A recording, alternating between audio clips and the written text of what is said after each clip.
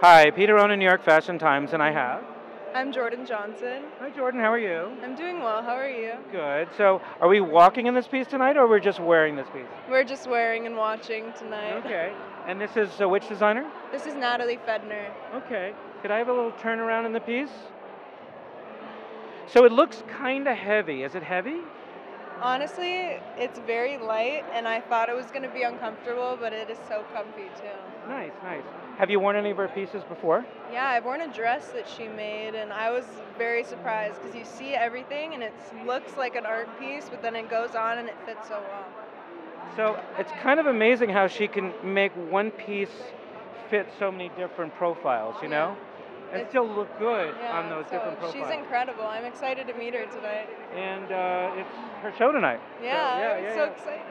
So what do you do when you're not uh, attending Fashion Week? Um, I love cooking.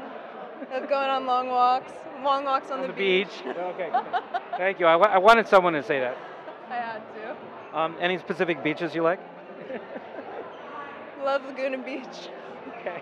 It's actually a nice beach. Um, besides beach walking, anything else? Not that I could think of on top of my head. Okay. All right. So Instagram, where can we find you? Um, it's at Jordyn J O R D Y N Johnson And that's J O. J O R D Y N. Okay, great. Well, thank you so much for uh, joining us, Thank you for having me. and thank you for watching. You're watching New York Fashion Times. Thanks again.